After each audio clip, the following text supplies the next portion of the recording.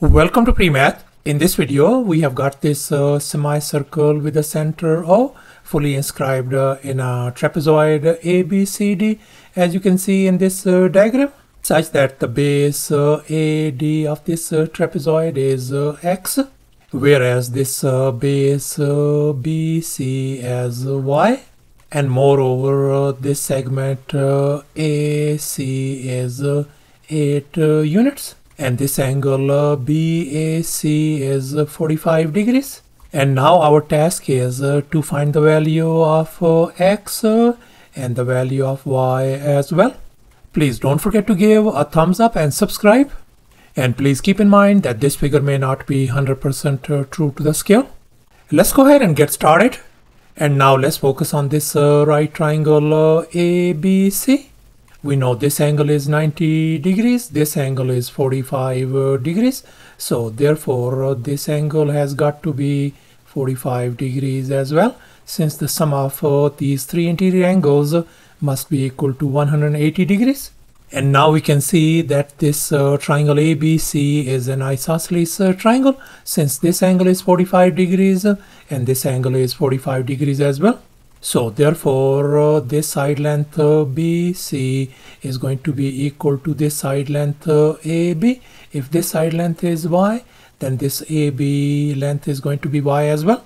And now we are going to apply the Pythagorean uh, theorem on this triangle to find the value of uh, Y.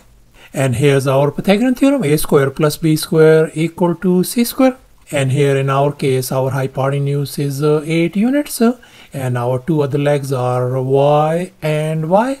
Let's go ahead and fill in the blanks in this uh, Pythagorean formula. So we got uh, y square plus y square turns out to be equal to 8 uh, square. So let's simplify it 2y square equals to 64 let's divide both sides by 2 this 2 and 2 is gone so therefore y square turns out to be 32. Now I'm going to undo this uh, square by taking square root on uh, both uh, sides. So therefore our uh, y value turns out to be equal to 4 times the square root of 2 units. So therefore our y value turns out to be 4 times square root of 2 and likewise uh, y over here is 4 times square root of 2 units as well and now our task is to find the value of x uh, as well. And now let's recall the two tangents uh, theorem. According to this theorem if two tangent segments are drawn to one circle from the same external point then they are uh, congruent as you can see in this given diagram. And here we can see this segment uh, AO is going to be equal to this segment uh, BO and now let's revert our attention back to our this problem and now we can see out this point E is a point of tangency. So therefore we can see that this segment uh, AD is going to be equal to this segment uh, DE. If this segment is uh, X then this segment is going to be X uh, as well. And likewise we are going to apply this uh, two tangent theorem on this uh, part as well. We can see that this segment EC is going to be equal to this segment uh, BC.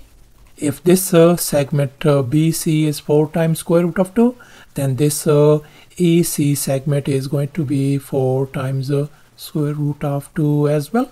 So therefore uh, this whole side uh, CD is going to be the sum of uh, x plus 4 times square root of 2. And now we are going to draw some auxiliary lines to make our job simple. As you can see in this uh, next step, we have created uh, this uh, right triangle uh, CFD. And as a result, we got this uh, square ABCF. So therefore, uh, all these side lengths of this square are equal. So therefore, all these side lengths of this square turns out to be 4 times square root of 2 across the board. And now let's make an observation. We can see that this whole uh, side length AF is uh, 4 times the square root of 2. And this segment uh, AD is uh, X. So therefore uh, this uh, remaining segment FD is going to be 4 times the square root of 2 minus uh, x. And now let's focus on this uh, right triangle uh, CFD. And now we are going to apply the Pythagorean theorem on this uh, triangle to find the value of x. And here's our Pythagorean theorem once again, a square plus b square equal to c square. And in our case, uh, our hypotenuse is uh, 4 times square root of 2 plus x and our other two legs are 4 times square root of 2 and uh, 4 times square root of 2 minus x. So let's go ahead and fill in the blanks in this uh, Pythagorean formula. So we got uh, 4 times the square root of 2 whole uh, square plus uh, 4 times the square root of 2 minus uh, x whole square is going to be equal to 4 times square root of 2 plus uh, x uh, whole uh, square. So let's simplify. The square of this one is going to be 32 plus and now let's recall this uh, famous identity a minus b whole square could be written as uh, a square minus 2ab plus b square. We are going to apply it uh, on this uh, binomial on the left hand side.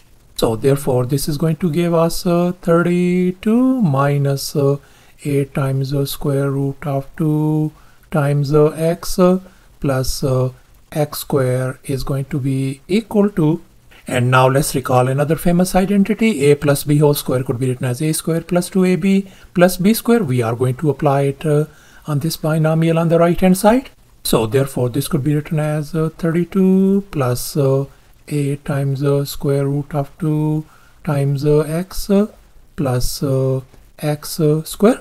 And now we can see this 32 and 32 is gone x square and x square is gone uh, as well so therefore we are ended up with uh, 32 minus uh, a times the square root of 2 times x is going to be equal to a times the square root of 2 times x.